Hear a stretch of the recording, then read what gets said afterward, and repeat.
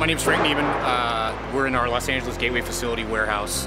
Uh, I've been with Robinson since 2009. Uh, the idea behind this facility is really, it's a giant mixing center, right? We bring in freight from Port of LA, Port of Long Beach, uh, local domestic pickups. We bring it back here, put it into inventory, and then everything turns in about 48 hours, and we basically create consolidated outbound truckloads. One of the challenges you run into with LTL is that if you have one pallet, five pallets, or even 15 pallets, you really get to a point where you're only using a portion of the truck, but you end up paying for the entire truck. So consolidation bridges the gap between LTL and truckload, where you really only pay for the space you use.